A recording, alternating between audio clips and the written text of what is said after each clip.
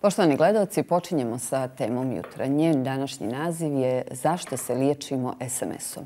U gostima su nam pomoćnice direktora sektore za zdravstveno osiguranje u Fondu za zdravstveno osiguranje Vukusava Pejović. Dobro jutro, dobrodošli. Dobro jutro, hvala na pozivu. Također sa nama je i Dajana Ljiljanić iz Fondacije Budi Human. Dobro jutro i vama. Dobro jutro, hvala vam na pozivu. A nešto kasnije će se uključiti i putem Skype aplikacije primarius profesor dr.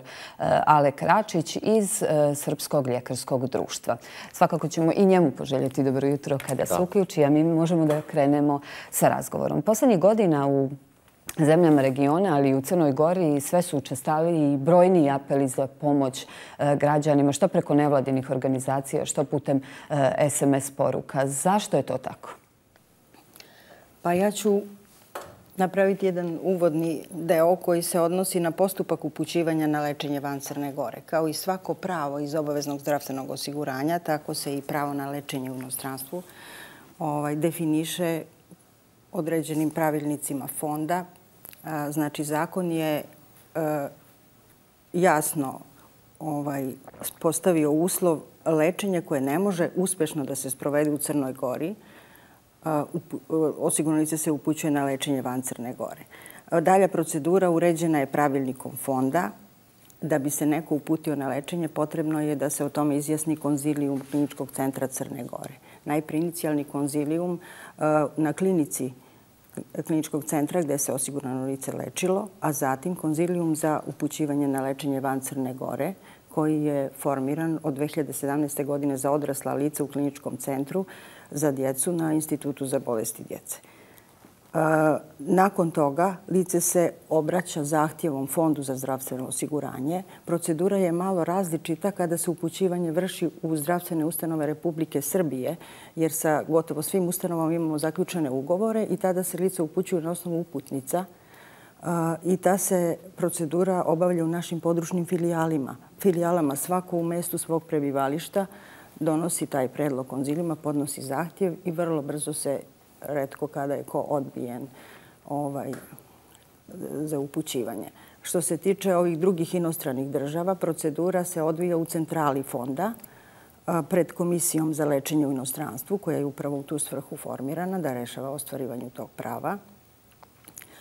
I, i na osnovu, upućivanje se vrši na osnovu rešenja fonda i tu su uglavnom ustanove ostalih država evropskih mimo Srbije, znači, kao i upućivanje u Acibadem ili u bolnicu.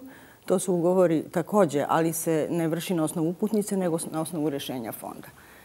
To je uglavnom to nešto, ta osnovna pretpostavka koja mora biti ispunjena, da konzilijumi ocene da to lečenje ne može da se leči u Crnoj Gori, ali može uspešno da se leči u nekoj drugoj inostranoj državi. A tačno je da smo posljednjih godina sve više suočeni sa tim činjenicama da se ljudi obraćaju SMS-om.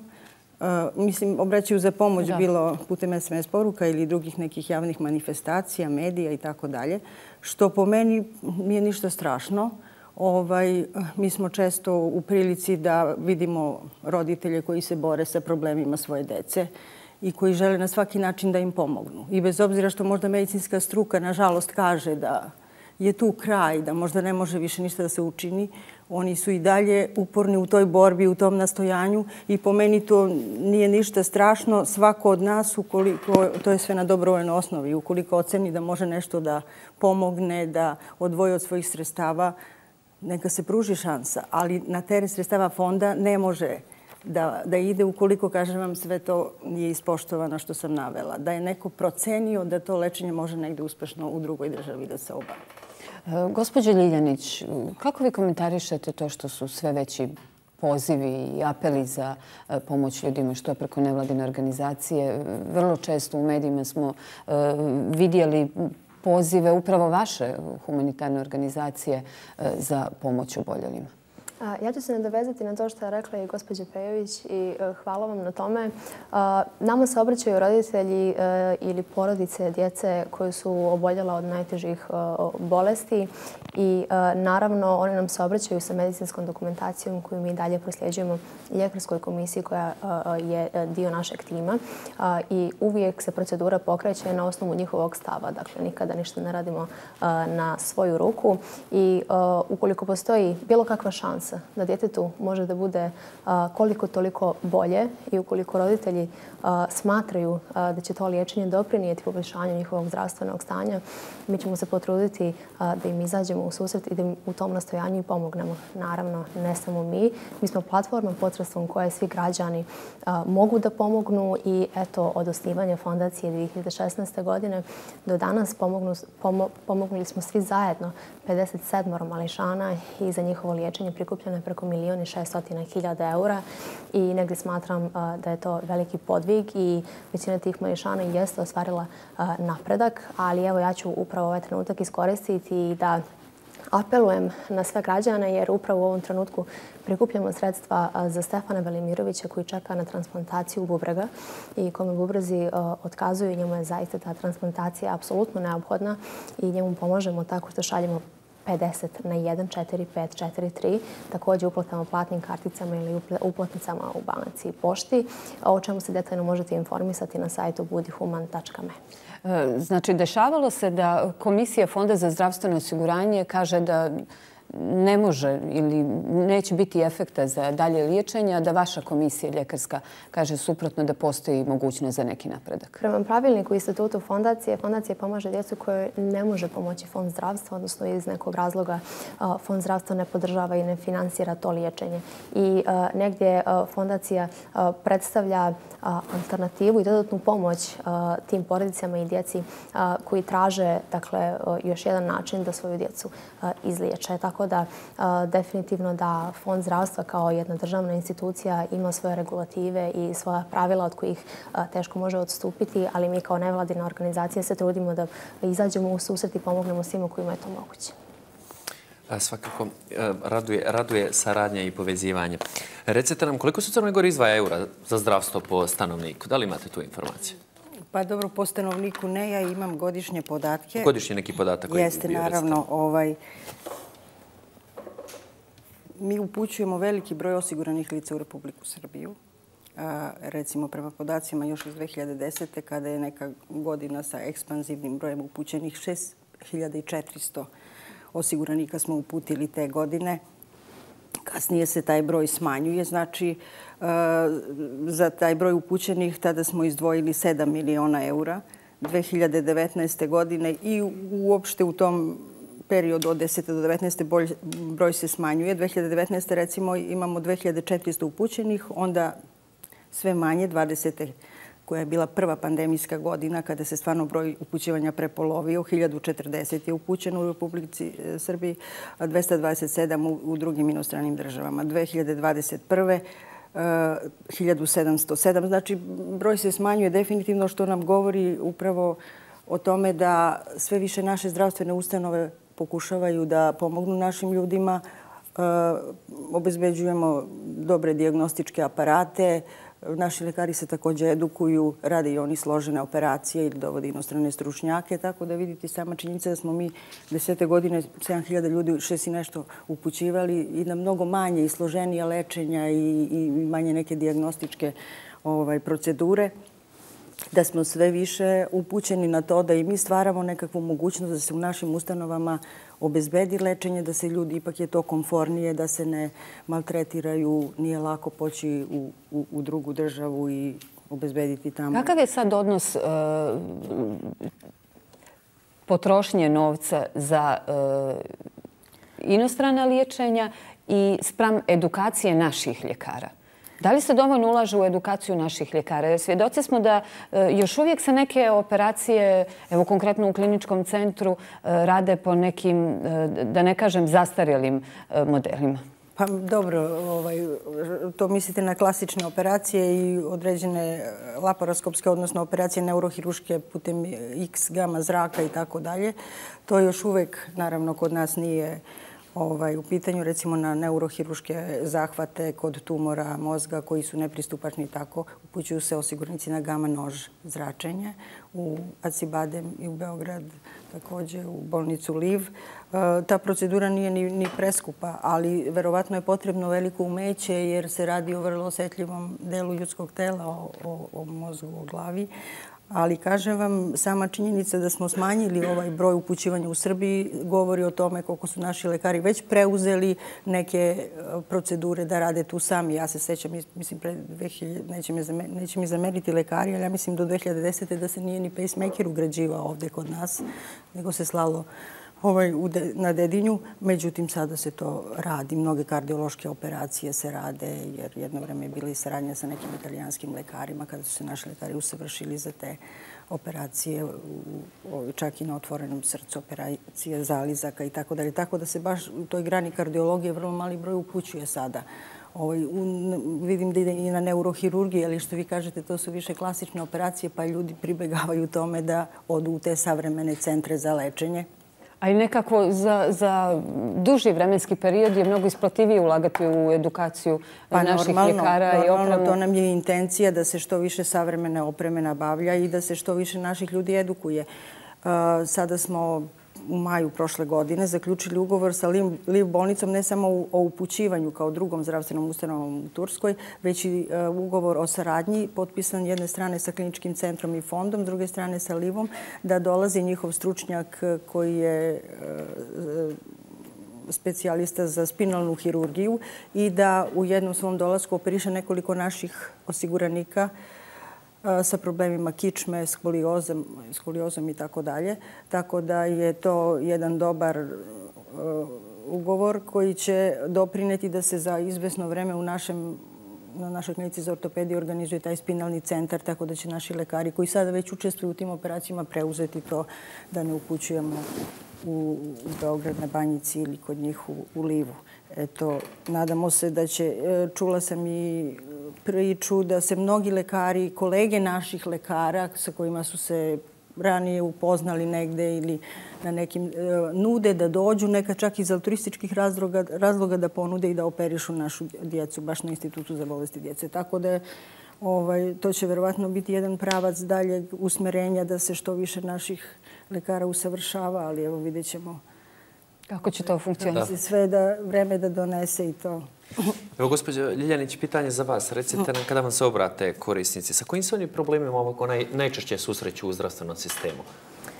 Problemi su razni, kao što sam kazala, to su uglavnom e, teške bolesti. E, najčešće Eh, nam se obraćaju roditelji djece oboljele od cerebralne paralize, eh, tako eh, i drugih bolesti koji naravno otežavaju, otežavaju djetinstvo, usporavaju rast i razvoj i jako su kompleksni kako za samo dijete, naravno, tako i za porodice.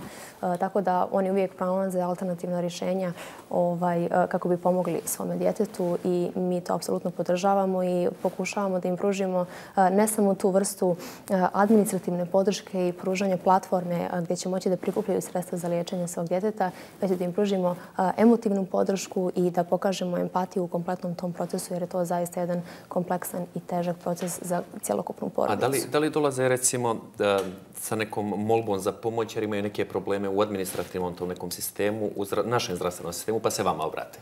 Da li imate tih slučajeva? Dešavaju se razni zahtjevi, ali eto mi imamo definisan pravilnik po kome djelujemo. Dakle, i kao svaka organizacija mi imamo definisan pravilnik i osnovni, osnovni postulati tog pravilnika jesu da pomožemo djeci do 21 godinu koje nije pomogao fond zdravstva i postoje tamo neki uslovi koji moraju da se ispune da bi neko postao naš korisnik i sa tim je naravno upoznata i ljekarska komisija i onda mi svi zajedno donosimo odluku o tome da li će se pokrenuti procedura prikupljanja sredstava ili neće. Kao što sam kazala, uvijek nastojimo da prosto izađemo u susret svakome kome, kome je to u tom trenutku moguće. Također, jako je kompleksno za roditelje u tim teškim situacijama da traže smještaj, da se snalaze za e, put i tako dalje, tako da im se trudimo da im i u tom smislu izađemo u susret i pomognemo im u tim trenucima i asistiramo da pronađu smještaj i sve, e, e, sve stvari koje su im neophodne kako bi otišli u inostranstvo i liječili svoje dijete. Koji ljekari su u vašoj ljekarskoj komori? Da li su u zdravstvenom sistemu Crne Gore? Tako je. Mi smo, mi smo ovaj, napravili dogovor sa određenim ljekarima iz našeg zdravstvenog sistema, tako da sa njima se uvijek konsultujemo konsultujemo i donosimo zajedničke odluke. Gospodje Gospodin Pejović, e, sa nama u studiju je trebao danas da bude i doktor Zoran Terzić. E, međutim, on je e, odložio gostovanje ili otkazao kako god juče popodne.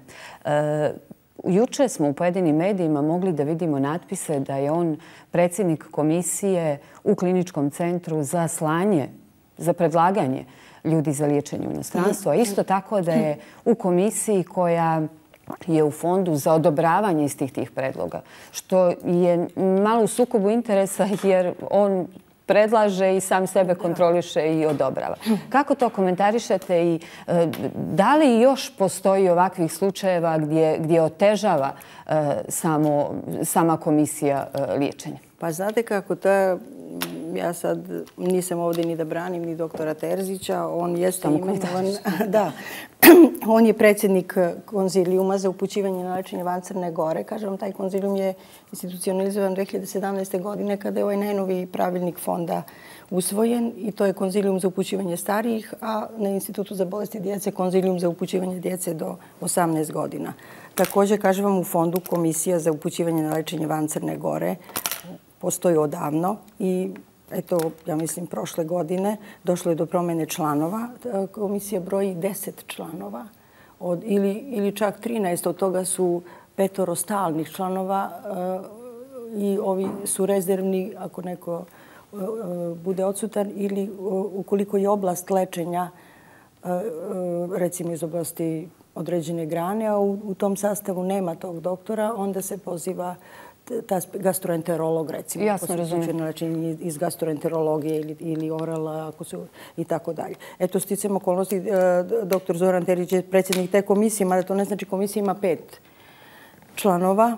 Ovaj, kaže vam, oni se formiraju, tri su stalna, ova dva su iz tih e, rezervnih članova i oni se popunjavaju u odnosu na broj zahtjeva. Broj zahtjeva nije baš mali, mada se e, svake nedelje, ja mislim, 15 do 20 zahtjeva za upućivanje van Crne Gore, van Republike Srbije, ovo što ide preko naše komisije, s tim što stvarno najveći broj zahtjeva je za PET skener diagnostiku ovaj, kod onkoloških pacijenata, a ovo su druga lečenja iz drugih oblasti, operativna i tako dalje. Tako da, eto, ne znam kako da to prokomentarišem, jednostavno, ovaj, Je li to sukob interesa? Da li, je, da, li to, da li bi to tako trebalo da bude po nekim procedurama?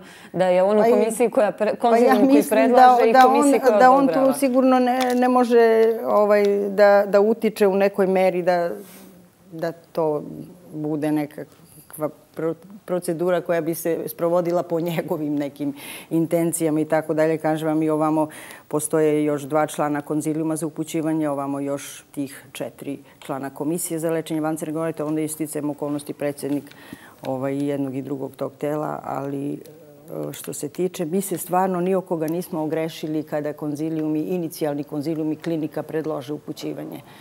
Ovaj, ovo što se obezbeđuje preko fondacije Budi Human i ostalih e, tih e, medijskih objavljivanja e, za pomoć, to su uglavnom, recimo, deca koja boluju od cerebralne paralize gde stvarno lečenje koje je potvrđeno u medicinskoj praksi više se ne može sprovoditi. To su lečenja matičnim ćelijama, presađivanje matičnih ćelija, druga neka eksperimentalna lečenja u koje roditelji žele da uvedu svoju decu. Izvinjavam se, moram vas prekinuti. Imamo uključenje ovaj, putem Skype-a. Gospodine Račić je tu sa nama. Gospodine Račiću, dobro jutro, da li se čujemo?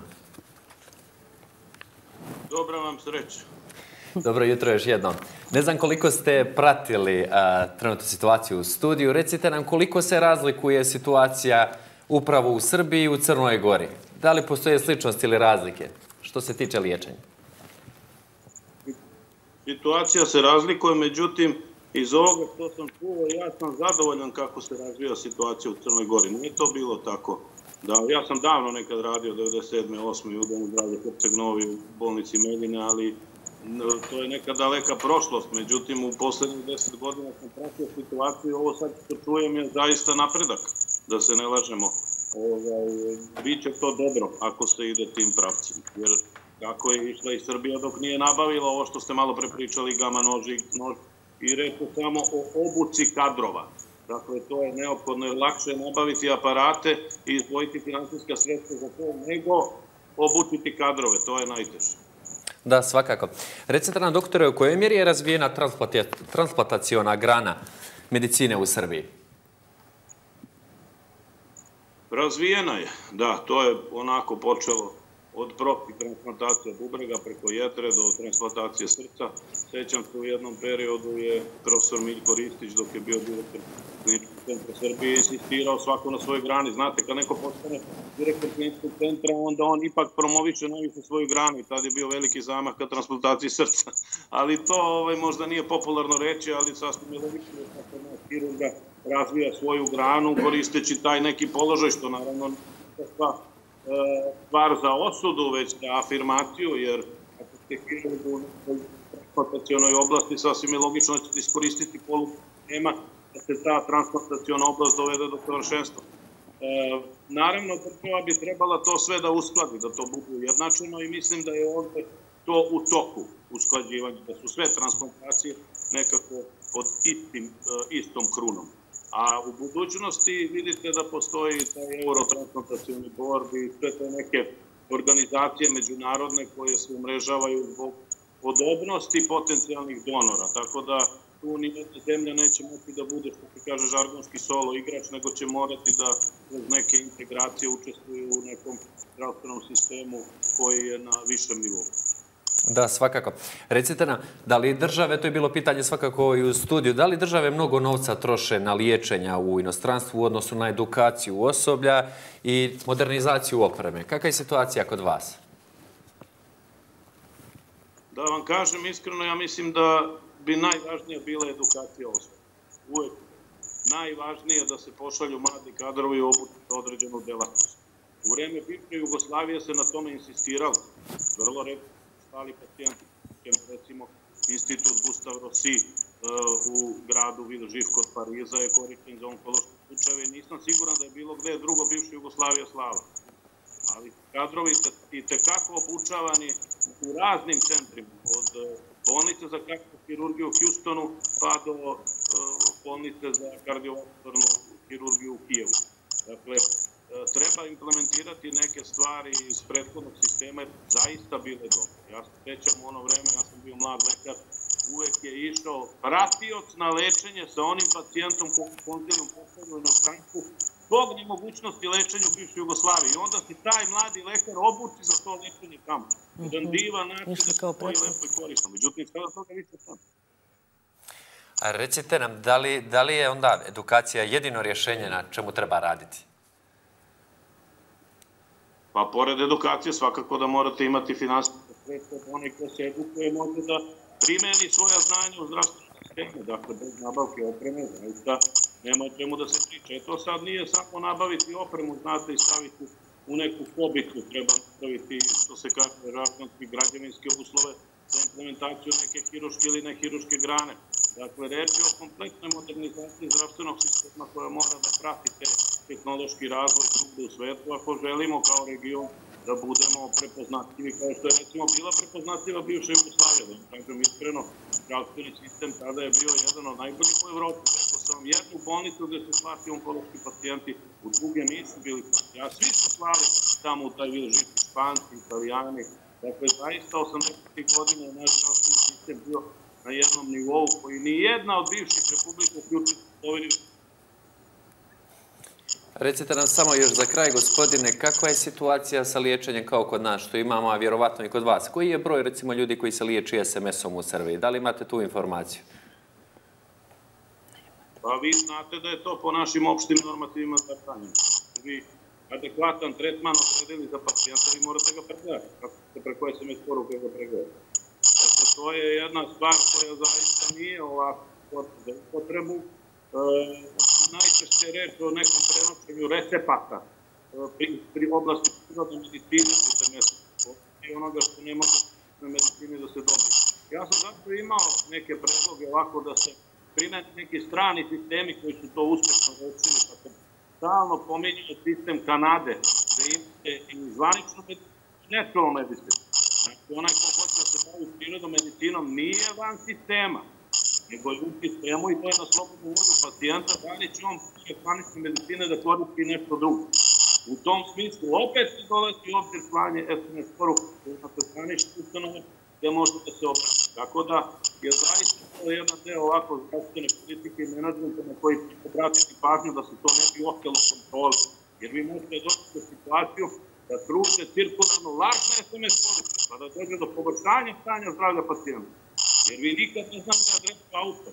A kad dođete u kontakt sa profesorom, primariusom, onda znate ko vam je to poručuje. Svakako će vam pripraviti. E, doktore, hvala vam najljepše na uključenju. Hvala vam najljepše, a mi nastavljamo dalje. Evo, čuli ste kakva je situacija u Srbiji. Recite nam, koji je broj privrednika u Crnoj Gori koji pomažu u vašoj fondaciji, koji hoće da pomognu? Ja bih samo napravila samo kratak osvrt na ovo o čemu smo razgovarali. Budući da se govorilo više puta o liječenju SMS-om, samo bih skrenula pažnju još jednom građanima da smo mi obezbijedili više sistema za doniranje. Dakle, posredstvom našeg sajta možete donirati i platnim karticama, dakle u svega nekoliko koraka, tako i uplatnicama. Na sajtu je sve i tekako transparentno, očitava se u realnom vremenu, tako da, eto, svako koji mogućnosti neka pošalje 50 na 1, 4, 5, 4.3 za Stefana. E, što se tiče vašeg pitanja, e, svakako e, da smo ostvarili u prethodnom periodu saradnju sa određenim brojem privrednih, kao što vi kažete, privrednika ili kompanija društveno odgovornih koji pomažu naše funkcionisanje.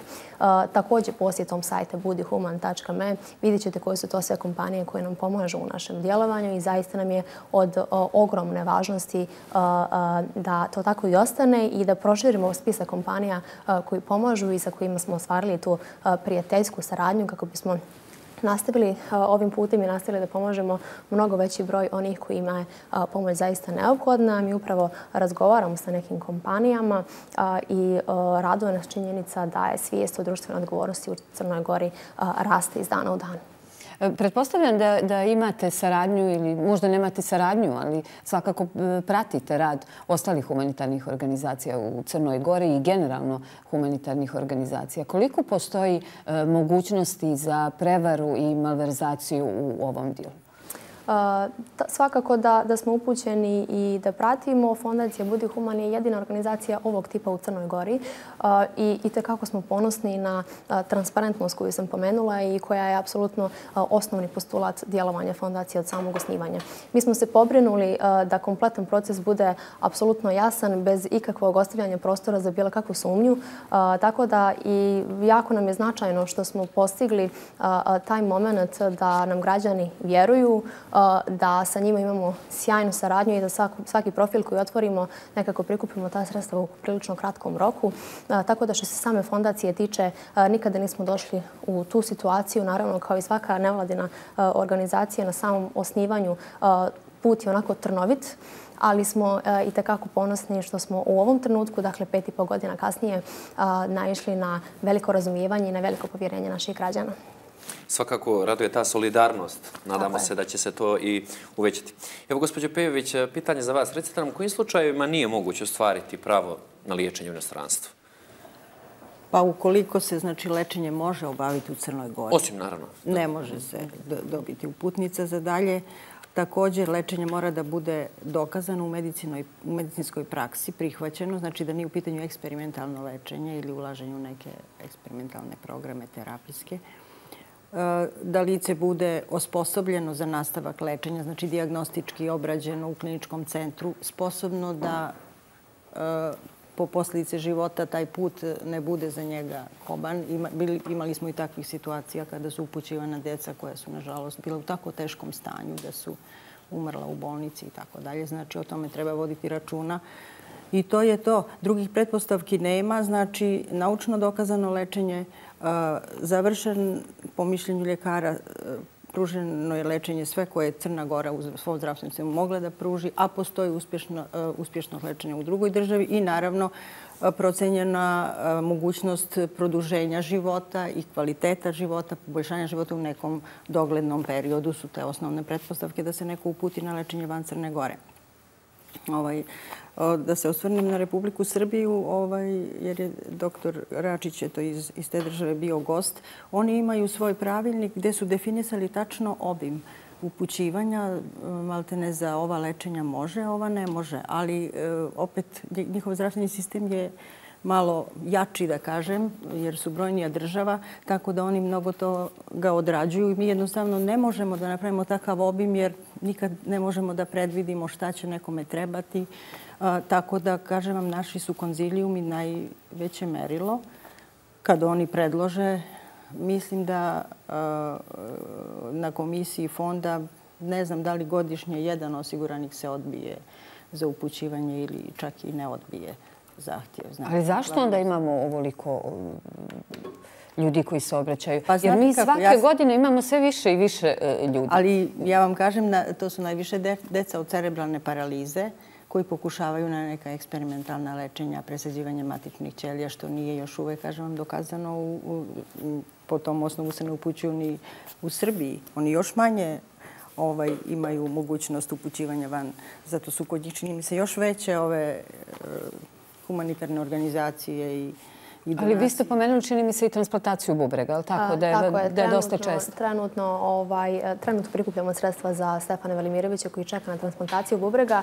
Samo ću eto, prokomentarisati da postojanje humanitarnih organizacija i nevladanih fondacija ovog tipa nije samo stvar i nije izolovan slučaj kod nas. Humanitarne organizacije ovog tipa postoje svuda u svijetu i to, se, to je prosto praksa svuda jer negdje ta državna, državna državni sistem i nevladin sistem moraju sarađivati i dobro je što je tako. Tako da u svakom slučaju svuda u svijetu se primjenjuje ova praksa i mi smo sretni što možemo da na neki način pomognemo. Naravno, ja samo pokušavam da dobijem odgovor e, zašto svake godine, iz godine u godinu imamo sve veći broj djece e, odraslih koji idu na ovaj vid liječenja. Znači, nije problem samo cerebralna paraliza. Tu je i transplantacija bubrega. Tu su i pa različita maligna oboljenja. Što se tiče transplantacije bubrega, bubrega. E, taj uopšte transplantacioni programi su jedan vrlo osetljiv e, dio zdravstvene zaštite i to presađivanje organa je uređeno zakonom o uzimanju i presađivanju delova ljudskih tela u svrhu lečenja e, koji se stvarno mora i poštovati i sprovoditi ne samo, kažem, zbog kompleksnosti tog vida zdravstvene zaštite, tu su i neki drugi etički razlozi, pravna legislativa i tako dalje. Mi smo potpisnici nekih e, međunarodnih konvencija. Imali smo sporazum sa Republikom Hrvatskom. Preko nje smo i ušli u Eurotransplant i taj dogovor oko e, ustupanja naših e, doniranih organa, mada je u prošlom periodu mislim da ih je bilo malo, ali u svakom slučaju uz pomoć hrvatskih stručnjaka rađene su i transplantacije na našem kliničkom centru ili su upućivani tamo. Znamo da je pandemija dovela do prekida u, u tom delu zdravstvene zaštite. Da li splanira se obnova e, transplantacije? Naravno. Evo konkretno bubrega u Crnoj Gori. Ali e, konkretno sada kod e, ovog osiguranika koji prikuplja pomoć radi se o kadaveričnoj transplantaciji od umrlog donora koju on planira da sprovede u Belorusiji. To stvarno ne može. Da, da ne, mislim, nećemo govoriti o, konkretnim slučajevima, ovaj, već međutim, o problemima bit će upućivanja za transplantacije u prvoj liniji srodstva, znači roditelji i deca, da mogu roditelji da doniraju organ. Naravno, bez problema će se upućivati u Livu ili u Acibadimu jer oni to rade, te transplantacije od živog donora, srodnog, i do, čak do, čini mi se, četvrtog stepena srodstva, s tim su će tu etički komitet kliničkog centra da odlučuje o tome, da prikuplja određene dokaze, izjavu da nema materijalnih davanja za organ koji se donira, onda dokaz stepena srodstva i tako dalje. I na osnovu mišljenja etičkog komiteta i predloga konzilijuma do četvrtog stepena srodstva i od emotivnih srodnika supružnika ići će transplantacije u buduće. E, da li se planira obnova transplantacijone grane medicine u Crnoj Gori? U Crnoj Gori to je jedino da se nastavi saradnja sa ovim kliničkim centrom Rebro u Zagrebu ili eventualno sa drugom nekom. Mislim da je ministarka pričala da su još neki sporazum potpisali u, u tom delu ili se dogovorili, ali verovatno će se i ta grana razvijati, mada morate priznati da je to vrlo složeno i postup, transplantacijni period i komplikacije, sve to mora, mora biti taj medicinski tim spreman ako dođe kasnije. I opet se vraćamo na onu edukaciju Pa normalno, ljekara. uvek će to biti osnovno da se oni usavrše u, u tim nekim komplikovanim lečenjima. Da li će po, i na koji način će po vašem mišljenju projekat Evrope sad uticati na zdravstveni sistem i ukidanje doprinosa na, na plate za zdravstveno? Da li će ugroziti i zdravstveni sistem i da li će faliti novce? Pa ja mislim da neće. Neće, ovaj, jer eto, na, na konto tih doprinosa nama zaposlenima uvećane su zarade, a država garantuje da će taj fond, budžet fonda popuniti iz poreza i drugih e, svojih prihoda. Tako da će se ta sredstva sigurno obezbeđivati. Naravno, i do sada smo kukali, nedovoljno je uvek i fond u deficitu, velika je potrošnja lekova, uvode se savremene terapije, jako skupi lekovi, biološke terapije su recimo mnogo skupe. Tako da nam je to nekako ta pozicija najgora, hoću reći najviše para guta, ali uz neku dobru kontrolu i racionalizaciju sredstava možda bi se moglo, što kažete vi, naći načina da se obezbeđuju sredstva upravo za edukacije i za dovođenje inostranih stručnjaka, što bi imalo neke mnogo veće efekte u budućnosti. Također, evo, čujemo da će da se planira i taj PET e, centar, PET e, skener koji bi se ovaj, možda za neki period od nekoliko godina instalirao tu u kliničkom centru da ne upućujemo više osiguranike na PET-set diagnostiku, sve više onkoloških slučajeva i potrebe za ovom diagnostikom koja je možda pre desetak godina bila bum, ali sada jednostavno redovno svaki onkološki pacijent mora da odredi PET skener da, da se vidi eventualno proširenje bolesti ili eto to ili odgovarajuća terapija koja treba da mu se primeni.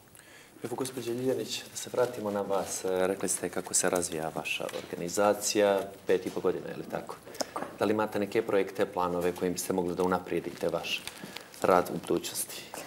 Apsolutno. Eto, kao što sam napomenula na samom početku, velike smo rezultate ostvarili za ovih e, pet i po godina e, postojanja i djelovanja. E, I osim što smo, osim što redovnom procedurom prikupljamo svi zajedno donacije za djecu, mi smo, ako se sjećate, teletona 2017. godine, kada je prikupljeno preko 397.000 eura za djecu oboljelu od malignih bolesti koje nije pomogao Fond zdravstva. Umeđu vremenu je Fond zdravstva napravio promjenu, pa su potpisali ugovore sa još nekoliko evropskih klinika kada su djece počela da se upućuju da dakle, dakle, u Evropu, a ta su sredstva na neki način ostala zarobljena. Mi smo umeđu vremenu napravili aneks ugovora sa svim televizijama, među kojima i prva televizija, kojem je predviđeno da ćemo pomagati djecu oboljalu od karcinoma bez obzira na to da li su pomognute od strane Fonda zdravstva i tim sredstvima pomažemo njihovo liječenje, osim liječenja, neke skupe medikamente, put do tamo, smještaj i sve one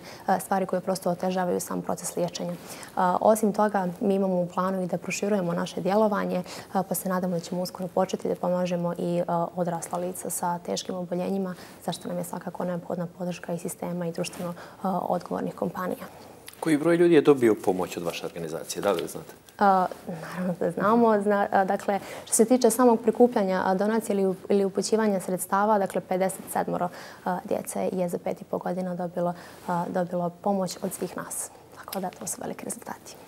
Ehm, Gospodjo Pejović, kakvi su planovi fonda za naredni period? Možemo li očekivati da će se e, za zdravstvo izdvajati malo više iz državnog budžeta? Pa ne znam. To je već pitanje za državnu, veću, višu državnu politiku. E, ja samo mogu da kažem da se sredstva planiraju godišnje i taj budžet se planira na osnovu prethodnih troškova u prethodnih par godina tamo gdje se oceni da po nekoj poziciji je potrebno uvećanje, ono se isplanira, ali ne naravno u nekom većem iznosu, tako da su to uglavnom ta ista sredstva i za ostvarivanje prava na privremenu sprečenost i za medicinsko-tehnička pomagala, e, te pozicije za lekove i tako dalje. Međutim, što se tiče samog ostvarivanja prava na lečenje van Crne Gore, to nikad nije bilo dovođeno u pitanje upućivanje ljudi na na, na lečenje ovaj, nije bilo uslovljeno visinom sredstava izbojen, izdvojenih za tu namenu. Bilo je slučajeva da recimo krajem godine smo imali dete ko, za koje je trebalo uplatiti 500.000 eura. Ta sredstva su se obezbedila. Znači to nikad... Ovaj, Iako su bila... Iako je na toj poziciji već utrošeno da. tih planiranih budžetskih sredstava, ali novim zahtjevima putem ministarstva, prema ministarstvu financija ili putem preusmjeravanja sredstava sa drugih pozicija uvek je bilo ove mogućnosti da se ta lečenja uplate, jer u drugim državama ona se avansno uplaćuju, a u ovima što imamo ugovore tek se fakturišu troškovi posle završenog lečenja. Kažem, to nije bio problem, ali stvarno ovi aršini se moraju poštovati i preduslovi da se neko uputi ovaj, o kojima sam već govorila.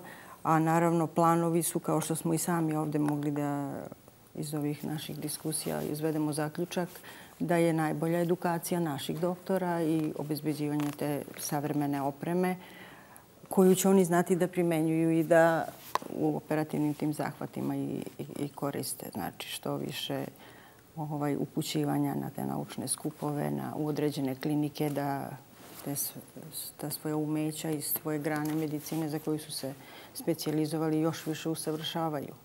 Kada je... Uh, da i to kroz neke programe treba forsirati, naravno ne ovako ad hoc ili ako se ukaže prilično, nego jednostavno postepeno. planski i postepeno. Kada govorimo, kada ljudi dobiju odobrenje da idu na liječenje u inostranstvo, kakvi su njihovi troškovi? Da li oni imaju troškove ili od samog početka to fond pokriva? Imaju. To, to je ovaj, definitivno tako da e, fond njima plaća samo prevoz koji im je odobren, najčešće je to avion. I ovaj, kada su u pitanju djeca do 15 godina i do 18 sa malignitetima i težim ovim oboljenjima, onda pratilac ima pravo. Ali često su ta lečenja ambulantna, da kažem, ako su u pitanju recimo terapije onkološke djece koja su hematonkološki slučajevi. Te terapije se sprovode u dnevnim bolnicama i oni najčešće borave tu negde ili u krugu bolnica ako postoji neka bolnička kuća, ali verovatno tu izdvajaju sredstva bar za hranu, ako ne i za troškove ovaj, smeštaja ili u hotelima. E, znači, to je najveći problem što sama bolnica nije organizovala kao što i mi ovde. Znači, sada bolnička lečenja ne traju dugo obavlja se operacija, par dana ste u bolnici i vi se otpuštate kući, a dolazite kasnije po potrebi na te terapijske ovaj, procedure u dnevnoj bolnici. E to je verovatno njima najveći problem i zato je pomoć e, zajednice potrebna čisto i, i kao neki trošak smeštaja tamo. I nekako zajedno je sve lakše. Pa jeste, naravno. E, hvala vam puno što ste izvojili vrijeme, što ste bili naše gošće ovoga jutra. Hvala i vama. Poštovani gledalci, mi ćemo napraviti kratku pauzu, a onda se vraćamo standardno sa vijestima u 8 sati i 30 minuta.